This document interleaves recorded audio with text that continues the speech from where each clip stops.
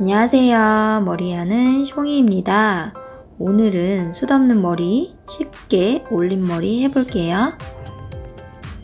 반묶음 하고 시작할 거고요. 반묶음 하고 밑에 머리 모아서 왼쪽으로 묶어주시면 돼요. 묶어주실 땐 단단하게 묶어주시면 돼요. 이제 남은 머리 전체 모아서 공간 사이로 넣어서 이렇게 밑으로 빼주세요. 이제 묶은 머리와 합쳐서 합쳐서 묶어주시면 돼요. 묶어주실 땐 단단하게 묶는 거 잊지 마세요. 단단하게 고정해 주시고 한번 잡아당겨 주시면 되고요.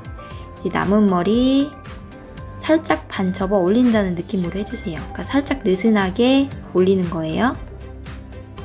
약간 끝을 약간 고무줄에 끼워주시면 되는데 이때 끝을 쏙 빼주세요.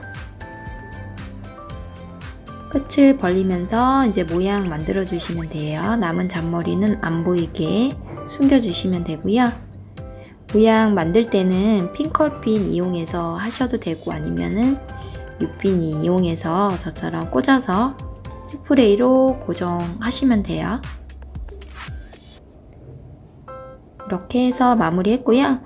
다음 영상에서도 제가 쉽고 새로운 방법으로 찾아올게요. 감사합니다.